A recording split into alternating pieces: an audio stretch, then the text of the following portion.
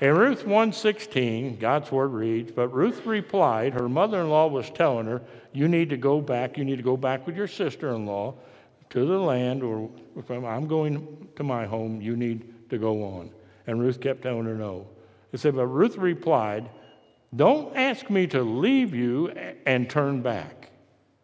Wherever you go, I will go. Wherever you live, I will live. Your people will be my people, and your God will be my God. Wherever you die, I will die, and there I will be buried. May the Lord punish me severely if I allow anything but death to separate us. Now, isn't that some bold statements? Matter of fact, I'm going to go back to them in just a second if I can. There we go. I want you now to think about this not only as you and your spouse, but I want you to think about these verses as you personally saying it to God. So I'll read it, but I want you in your mind say, God, I will not. I, okay? But Ruth replied, Don't ask me to leave you and turn back. I believe all of us need to ask God, Father, help me to never leave you and never turn away from you. He goes, she goes on to say, Wherever you go, I will go. Think about that. Wherever God takes you, you'll go. Wherever you live, I will live. Your people will be my people, and your God will be my God. Oh God, you're my God. As we go on, wherever you die, I will die. Of course, we know Jesus died on the cross for us. And when we go from this side of the, this earth to go into heaven, we'll spend eternity with Him when we know Jesus Christ as Lord and Savior. So if we don't know Jesus Christ as Lord and Savior, we're going to spend eternity in hell. And then said this after she said, I'll be buried wherever you are buried, said, May the Lord punish me severely if I allow anything but death to separate us. Well, I'm going to tell you, I believe we ought to say things like that to God. God. And God's going to punish us anyway. But we need to ask Him, punish me severely, Lord, if I start walking away from you, because I want to come back to you. Now, I think these are great to be said about a spouse, don't get me wrong. But I think it's even greater to be said to our Lord and Savior from our hearts. God, help me to never fail you. Help me to never walk away from you. Help me to never leave you. Help me to be wherever you are, no matter when it is and no matter where it is. If we would just get that out of this today, we'd be okay. We're going to go a little farther here and get into the rest of it, but I'm going to give some background to this. And the three chapters before the fourth chapter, where we're going to start reading, we find out that Naomi's husband and their two boys and her moved basically because of drought and other things, and they moved to another land. And when they got there, their boys got married, and Ruth was one of the wives of one of their boys. Later on, Naomi's husband died, and the boys died. So that's the reason there was these three ladies the mother in law and the two daughter in laws. Now, that's kind of unusual when you find daughter in laws following close to mother in laws. That's the reason we have mother in law appointments, so they don't have to live right with us. No, I, that's the reason we have things like that, but also we find people talk because there's never been a woman that's been good enough to marry a mother's son. Have you ever noticed that? I don't care how good they are, there's always something missing. I don't care how much they do, there's always something they haven't done. I don't care about everything else that goes on, there's always something. Because mama's little baby is worthy of the best woman on the face of this earth. That's just how mothers see it. I don't know why that is. I think birth does something to a mother that has a boy. There's something that happens there, and they think that boy, you know, he deserves better He deserves this or that. And we don't find any of this kind of talk in the book of Ruth. What we find is that Ruth loved her daughter in laws, and they loved her. Especially Ruth. Naomi loved her daughter in law, excuse me. I'm going to go to a passage here and we'll talk about some of the others as we start. In Ruth 4 1, it says Boaz went to the town. Now, who was Boaz? Boaz was actually a family member that was quite wealthy and owned a lot of land. And so, in owning that a lot of land, he was also one of the redeemers of the family. There was another one that was a little closer than him. What was a redeemer of the family? Well, very simply put, it's just like the redeemer, Jesus Christ, is our redeemer, and he pays the price. It's somebody that will take over the debt of somebody else in the family, but also is in the lineage of the family and therefore can take care of the land or anything else that needs to be done debt, land, other things. Family redeemers were very common in this day, and Boaz was one of those. But also, something that happened right before this verse is that Boaz has his own farms and they were picking grain. Ruth said to Naomi that she was going to go out in the field and just pick grain behind the workers and just pick whatever they missed or whatever they, they didn't get, and so that they would, they would pick this, she would pick this grain. Well, Boaz recognized, didn't recognize her, he recognized her as a good looking young woman. And he asked one of his workers, Who's that lady over there that's picking uh, right behind all the rest? So he actually called her over and talked to her and found out and by name who she was. And of course, he knew her family, was kin to him. And basically told her that you don't have to. You can go get right in the middle of them, pick on. them. The men here won't harass you. She was picking with the ladies anyway. Pick whatever you want. Even ask her to come over and eat that day during lunch. And then we find that it, she gets later, and in it, she's actually able to pick right in the midst of them. She was bringing more. He was giving her more grain to bring home. And, and matter of fact, her mother in law couldn't believe it. Naomi couldn't believe how much she was bringing home. And who let you do this? And she said, Stay with Boaz. She even told him some things there I kind of wonder about in the passages here, but what ends up happening is we're going to end up at these verses so you get a little background here of what's happening. And it says Boaz went to the town gate and took a seat there. Just then, the family redeemer he had mentioned came by. So Boaz called out to him, Come over here and sit down, friend. I want to talk to you. So they sat down together. In verse 2, it says Then Boaz called 10 leaders from the town and asked them to sit as witnesses. And Boaz said to the family redeemer, You know Naomi, who came back from Moab. She is selling the land that belonged to her relative, Elimelech. That's her husband had died. I thought I should speak to you about it so that you can redeem it if you wish. If you want the land, then buy it here in the presence of these witnesses. But if you don't want it, let me know right away because I am the next in line to redeem it after you. And the man replied, All right, I'll redeem it. Now, here's the rest of the story. Then Boaz told him, Of course, your purchase of the land from Naomi also requires that you marry Ruth.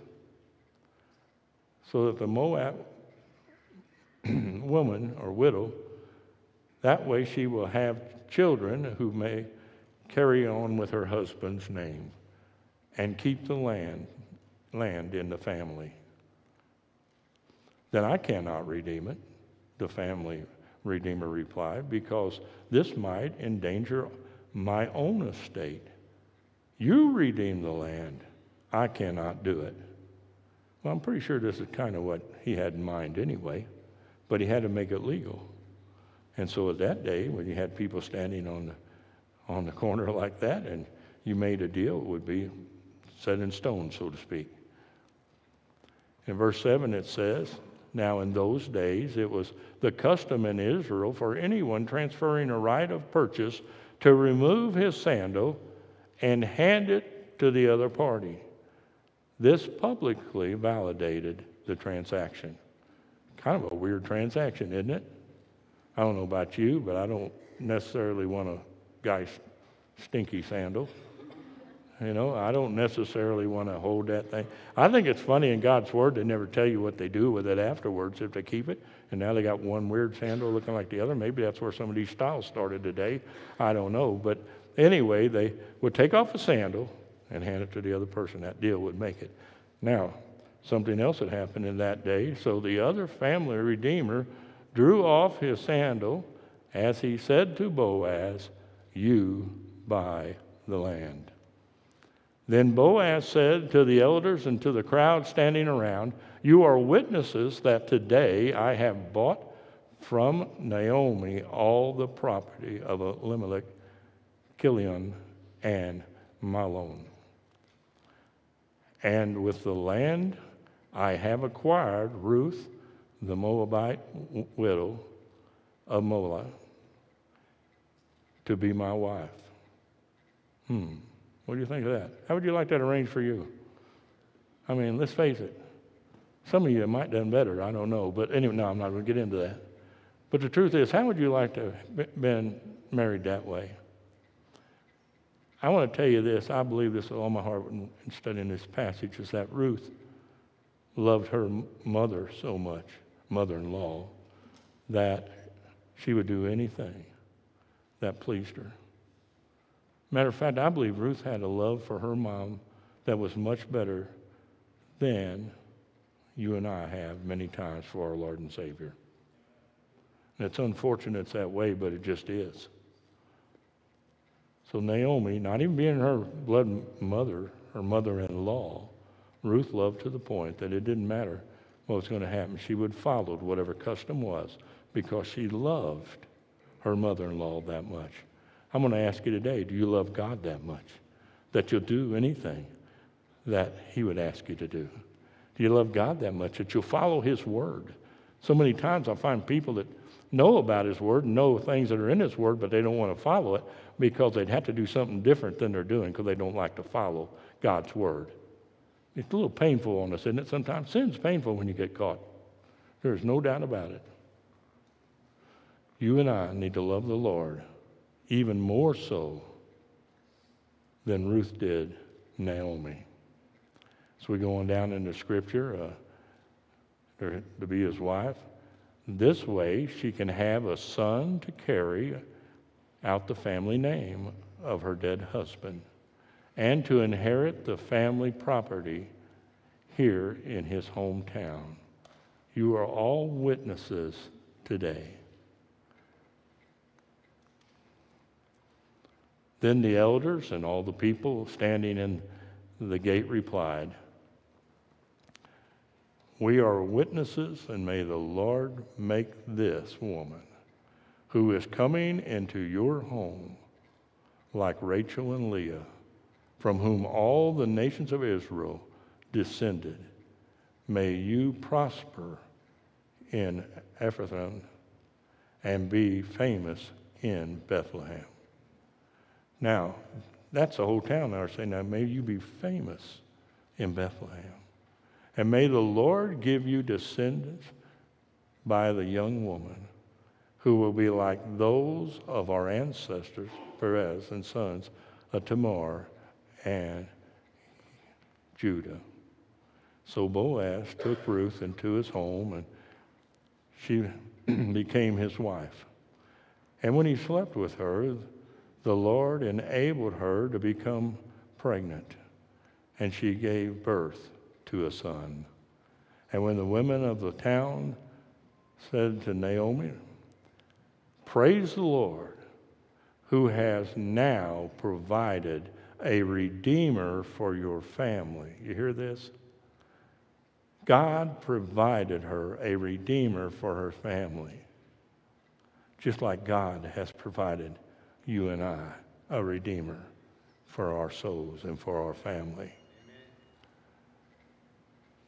May the child be famous in Israel. May he restore your youth and care for you in your old age. For he is the son of your daughter in law who loves you and has been better to you than seven sons. The whole town recognized this. That's how much that love showed. Let me ask you do people that live around you recognize how much you love God? I hope and pray they do. Because if they don't, there's something wrong. He says, as we go on, for he is the son of his daughter in law, which I said, who loved you and has been better to you than the seven sons. Excuse me. Naomi took the baby and cuddled him to her breast. And she cared for him as he were her own. And the neighbor, neighborhood women said, Now at last Naomi has a son again. And they named him Obed. And he became the father of Jesse. And, Jess, and Jesse, of course, was the grandfather of David. This is a generation, generational record of those ancestors. Perez was the father of Hezron. Hezron was the father of Ram, and Ram was the father of Amminadab. Uh, dad, okay? Amminadab was the father of Nahshon. Nahshon was the father of Salmon. Salmon was, Salmon was the father of Boaz. Boaz was the father of Obed. And I think it quit. Oops, sorry. Obed was the father of Jesse, and Jesse was the father of David. I want to stop right there because that is where it told us before. Now, what bloodline did Jesus come from? Okay, well, we were talking about David here. Jesse was the father of David, and we're told in God's word that David lineage was going to be where Christ came from. Now, who was in this lineage that we just saw? Ruth. A woman that's mentioned in the God's Word that actually ends up being in the lineage of our Savior. She ended up by having an extraordinary God that worked out extraordinary plans for her life.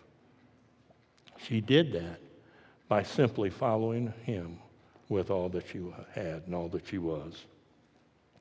I believe all of us could use Ruth as an example of how not only to love a spouse, but how to love a Savior. Because that baby that was born in that family was the Redeemer of her family.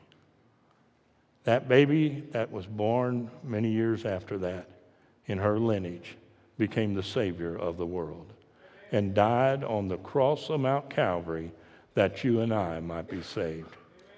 How much can we love Lord? How much do we love the Lord? Well, I believe we ought to be showing it to other people. Matter of fact, in the book of Ruth and one other places, they even said about her that she had integrity that everyone knew of. Does, that, does everybody know that of us? We might think they do, but they may be thinking other things. They followed, she followed the Lord. She followed and did everything it took. Matter of fact, God's word says better than seven sons could have done or would have done. That's how much she loved her mother in law. That's how much she loved her God. I'm just going to ask you today how much do you love your God? First of all, do you know Jesus Christ as personal Lord and Savior? Second of all, if you know Him, are you living for Him? Are you giving your all to Him? Are you giving Him everything that He's asked you for? Have you done everything He's asked you to do? Have you went everywhere He's asked you to go? Well, only you can answer that question because it's between you and God. But God's never not known it. He's known it since the beginning of time. There is nothing in our lives that will ever fool or surprise God. God knows it all. The question of today, are we willing to give it all to Him?